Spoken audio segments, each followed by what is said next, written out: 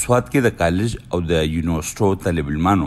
د خپل سبق سره د کار روزګار هم شروع کړی دی او یو کلتوري رستورانت یا د خوراک ځای کولاو کړی دی چرته چې ځانګړي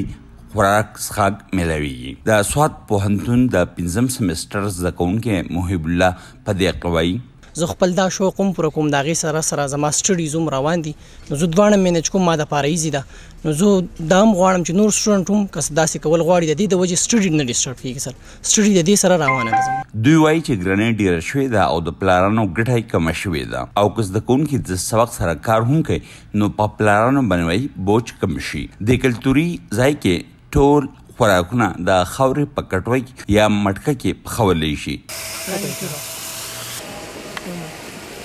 چې خوند منګي د نور رنګه پخلو پخولونه ډیر خوي او خاص کر د خاورې د کټوۍ چې بریاني او نور خوراک ډیر مزیدار وي دلته راغلی یو طالب علم زین مراد وایي فرست ټایم باندې راغلی او چای وڅکل اوس راغلی بریاني ټرای کو ډیر زبردست ځای دی سر ډیر زیات زبردست و سر کم ټاپینګ پې کړی و سر او کم پرایس چې و ډیر زبردست و نو موږ ډیر خوند اخیستی وته دلته راغلی تنان وایي چې د خاورې د کټوۍ چای او بیا په هغې کې د بادامو او زعفران اچولو مزه بل رنګ وي دلته راغلی خلیفه خان وایي اوریدلی مې دلته مټکا چای وته دی د پېښور ادر سټیز کې دا شته دی خو سوات کې ما فرست ټایم دی ما په خیال چې مټکا چای دا ځای ووتو نو بس فرندز دونه واوري د بیا هریس ما فرند ان واغورا ته وي بیا هم غرالو دلته وزټ یو کو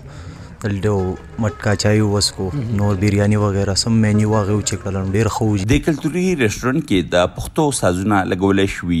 او دلته تلونکي خلک شطرنج تاش لډو یا د میز نورې لوبې هم کولی شي او خاص کر د طالب علمانو د یو بل سره د سبق یا د حالاتو په حق له د خبرو اترو لپاره پکې هم ځایونه جوړ کړای شوي دي. محب الله وايي چې د نوې ټکنالوژۍ او خاص کر موبایل خلک د یو بل نه جدا کړی دی او د دوی کوشش دی چې نوی نسل د موبایل له څه وخت د یو بل سره خبرو اترو له هم ورکړي.